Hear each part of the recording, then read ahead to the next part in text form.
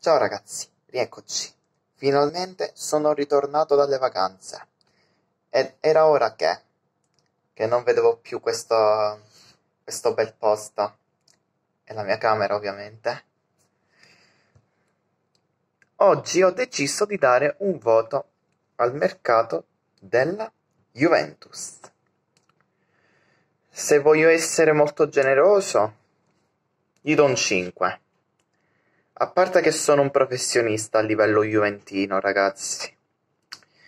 Allora, certo, con i giovani ceduti in prestito non è così?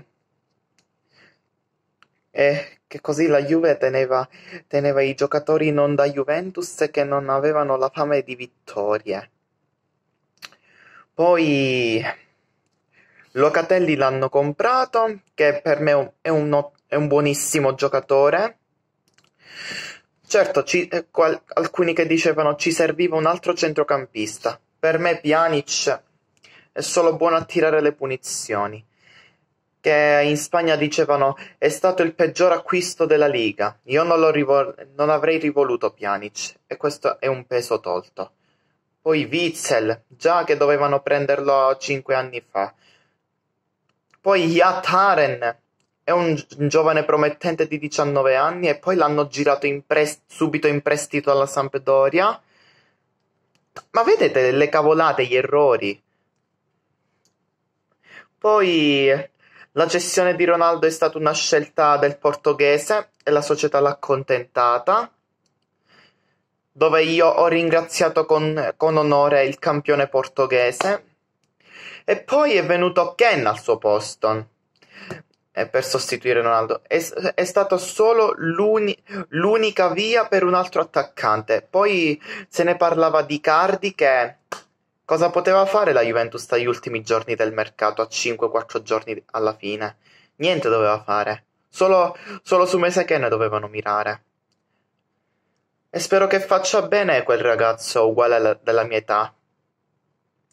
Poi forse... Um, Non riesco più a pensare. Hanno preso anche Caio Iorghi e si è subito infortunato il povero ragazzo. Che loro dicono faranno la fine di Gabigol. Tanto la Juventus ha pagato pochissimo. Costava solo un milione e mezzo o due milioni il calciatore. Prima deve conoscere il, ca- il campionato italiano, Caio Iorghi.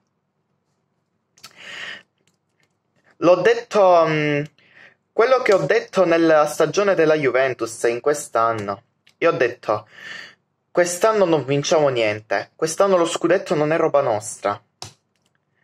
Dobbiamo stare pure attenti, dobbiamo stare pure attenti per i primi quattro posti, che io ho detto quest'anno sarà molto ma molto dura per la Juventus arrivare tra i primi quattro. Che dicevano, tutte le squadre si sono rinforzate. Questo è vero, la società Juventus dicevano che è mediocre e non possiamo farci nulla purtroppo.